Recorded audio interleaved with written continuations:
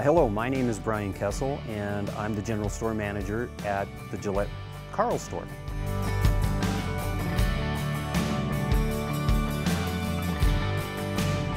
Karl's is a, a chain based out of Gregory, South Dakota. We've been in business for 60 years.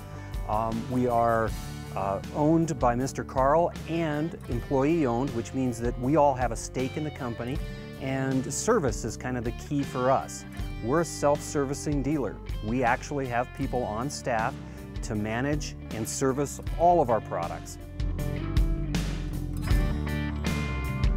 Karl's is unique in the fact that we are one of the largest independent appliance retailers in the country. Um, we're based in Gregory, South Dakota. We've been in business for 60 years and uh, we are employee owned along with the Karl family. We all have a stake in the servicing aspect of what we do. That starts when you come into our store.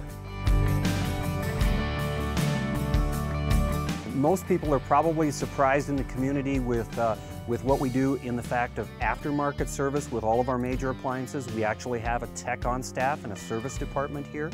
Um, so we can order parts and take care of everything from there.